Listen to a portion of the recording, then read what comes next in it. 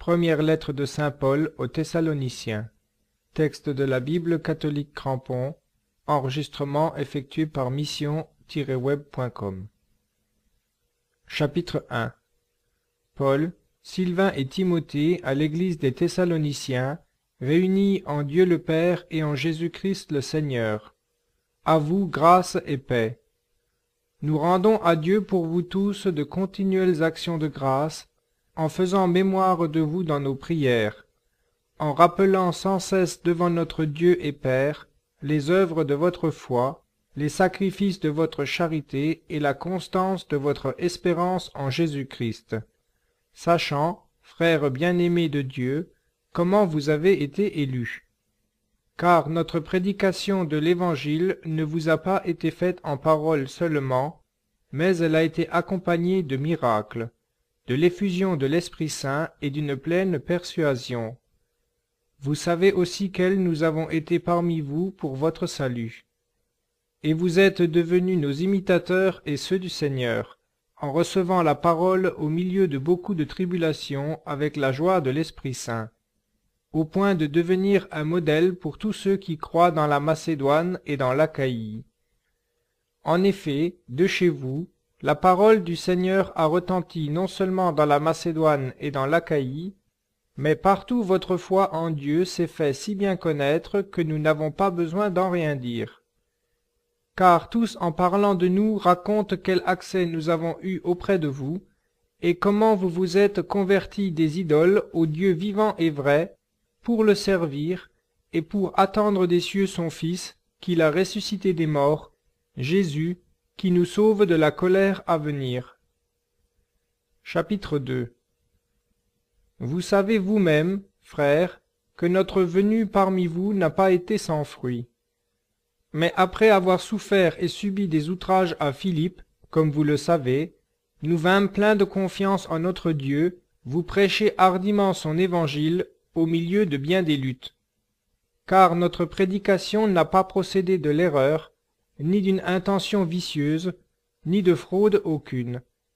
Mais selon que Dieu nous a jugés dignes de nous confier l'Évangile, ainsi enseignons-nous, non comme pour plaire à des hommes, mais à Dieu, qui sonde nos cœurs. Jamais, en effet, nos discours n'ont été inspirés par la flatterie, comme vous le savez, ni par un motif de cupidité. Dieu en est témoin.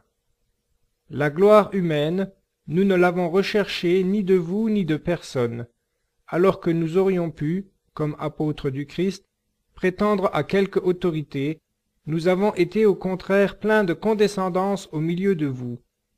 Comme une nourrice entoure de tendres soins ses enfants, ainsi, dans notre affection pour vous, nous aurions voulu vous donner, non seulement l'évangile de Dieu, mais notre vie même, tant vous nous étiez devenus chers.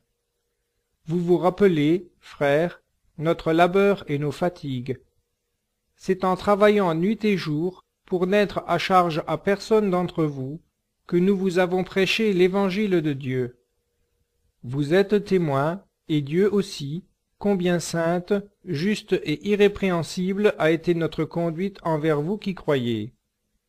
Comment, ainsi que vous le savez, nous avons été pour chacun de vous ce qu'un père est pour ses enfants vous priant, vous exhortant, vous conjurant de marcher d'une manière digne de Dieu, qui vous appelle à son royaume et à sa gloire.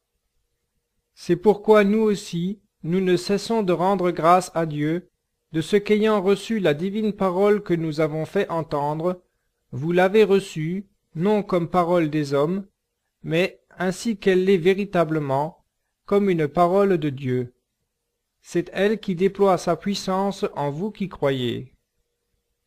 Car vous, frères, vous êtes devenus les imitateurs des églises de Dieu qui se réunissent en Jésus-Christ dans la Judée, puisque vous avez souffert vous aussi de la part de vos compatriotes ce qu'elles ont eu à souffrir de la part des Juifs. De ces Juifs qui ont mis à mort le Seigneur Jésus et les prophètes, nous ont persécutés, ne plaisent point à Dieu et sont ennemis du genre humain, nous empêchant de prêcher aux nations pour leur salut, de sorte qu'ils comblent sans cesse la mesure de leurs péchés. mais la colère de Dieu est tombée sur eux pour y demeurer jusqu'à la fin. Pour nous, frères, un instant tristement séparés de vous, de corps, non de cœur, nous avions grande hâte et un vif désir de vous revoir. Aussi voulions-nous vous aller trouver, en particulier moi, Paul, une première et une seconde fois, mais Satan nous en a empêchés. Quelle est, en effet, notre espérance, notre joie, notre couronne de gloire? N'est-ce pas vous qui l'êtes, devant notre Seigneur Jésus, pour le jour de son avènement? Oui, c'est vous qui êtes notre gloire et notre joie. Chapitre 3 Aussi, n'y tenant plus, nous avons préféré rester seuls à Athènes, et nous vous avons envoyé Timothée, notre frère et ministre de Dieu dans la prédication de l'évangile du Christ, pour vous affermir et vous encourager dans votre foi, afin que personne ne fût ébranlé au milieu de ces tribulations qui, vous le savez vous-même, sont notre partage. Déjà, lorsque nous étions auprès de vous, nous vous prédisions que nous serions en but aux tribulations, ce qui est arrivé comme vous le savez.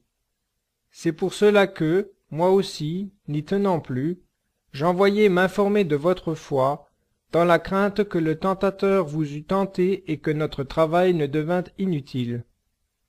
Mais maintenant que Timothée, venant d'arriver ici de chez vous, nous a dit votre foi et votre charité, et le bon souvenir que vous gardez toujours de nous et qui vous porte à désirer nous revoir, comme nous aussi nous le désirons à votre égard, alors, frères, au milieu de toutes nos angoisses et de nos tribulations, nous avons été consolés en vous, à cause de votre foi. Car maintenant nous vivons, puisque vous demeurez fermes dans le Seigneur. Aussi, quelles actions de grâce pouvons-nous rendre à Dieu pour vous, dans la joie parfaite que nous éprouvons à cause de vous devant notre Dieu Nuit et jour nous le prions avec une ardeur extrême de nous donner de vous voir, et de compléter ce qui manque encore à votre foi. Puisse Dieu lui-même, notre Père, et notre Seigneur Jésus-Christ aplanir notre route vers vous. Et vous, Puisse le Seigneur faire croître et abonder votre charité les uns envers les autres et envers tous les hommes, telle qu'est la nôtre envers vous.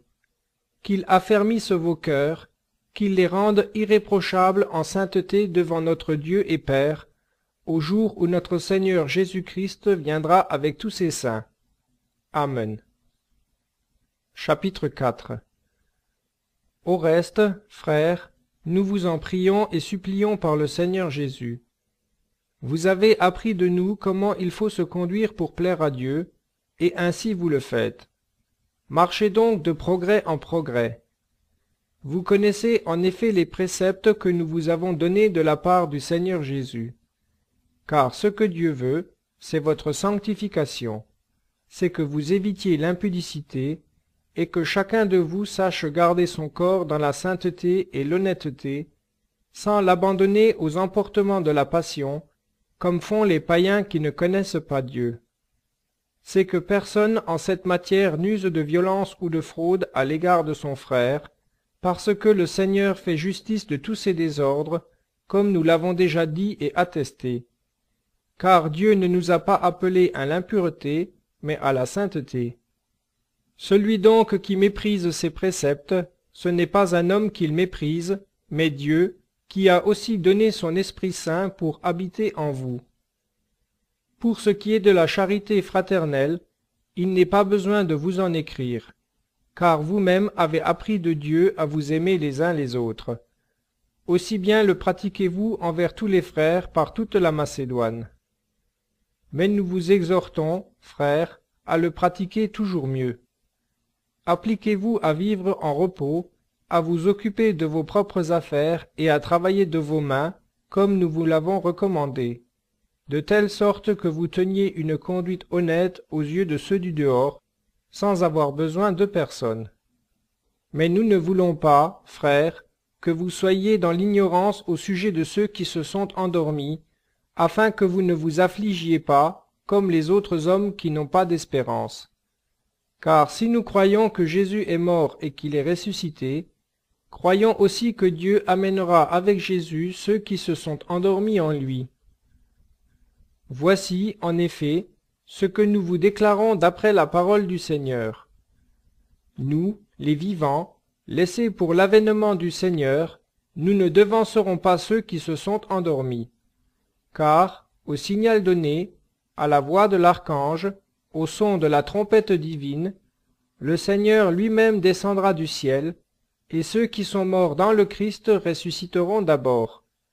Puis nous, qui vivons, qui sommes restés, nous serons emportés avec eux sur les nuées à la rencontre du Seigneur dans les airs, et ainsi nous serons pour toujours avec le Seigneur.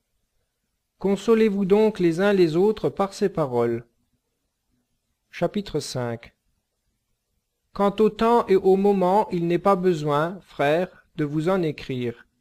Car vous savez très bien vous-même que le jour du Seigneur vient ainsi qu'un voleur pendant la nuit. Quand les hommes diront paix et sûreté, c'est alors qu'une ruine soudaine fondra sur eux comme la douleur sur la femme qui doit enfanter, et ils n'y échapperont point. Mais vous, frères, vous n'êtes pas dans les ténèbres, pour que ce jour vous surprenne comme un voleur. Oui, vous êtes tous enfants de lumière et enfants du jour. Nous ne sommes pas de la nuit, ni des ténèbres. Ne dormons donc point comme le reste des hommes, mais veillons et soyons sobres. Car ceux qui dorment, dorment la nuit, et ceux qui s'enivrent, s'enivrent la nuit. Pour nous qui sommes du jour, soyons sobres, prenant pour cuirasse la foi et la charité, et pour casque l'espérance du salut. Dieu en effet ne nous a pas destinés à la colère, mais à l'acquisition du salut par notre Seigneur Jésus-Christ, qui est mort pour nous, afin que, soit que nous veillions, soit que nous dormions, nous vivions avec lui. C'est pourquoi consolez-vous mutuellement et édifiez-vous les uns les autres, comme déjà vous le faites. Nous vous prions aussi, frères, d'avoir de la considération pour ceux qui travaillent parmi vous, qui vous gouvernent dans le Seigneur et qui vous donnent des avis. Ayez pour eux une charité plus abondante à cause de leur œuvre. Vivez en paix entre vous. Nous vous en prions, frères, reprenez ceux qui troublent l'ordre, consolez les pusillanimes, soutenez les faibles, usez de patience envers tous. Prenez garde à ce que nul ne rende à un autre le mal pour le mal, mais toujours cherchez ce qui est bien, les uns pour les autres et pour tous. Soyez toujours joyeux. Priez sans cesse. En toutes choses rendez grâce, car c'est la volonté de Dieu dans le Christ Jésus à l'égard de vous tous. N'éteignez pas l'esprit, ne méprisez pas les prophéties, mais éprouvez tout, et retenez ce qui est bon. Abstenez-vous de toute appartenance de mal.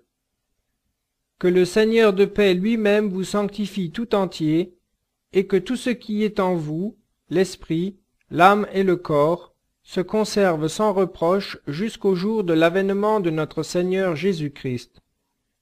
Celui qui vous appelle est fidèle, et c'est lui qui fera encore cela. Frères, priez pour nous. Saluez tous les frères par un saint baiser. Je vous en conjure par le Seigneur, que cette lettre soit lue à tous les saints frères. Que la grâce de notre Seigneur Jésus-Christ soit avec vous.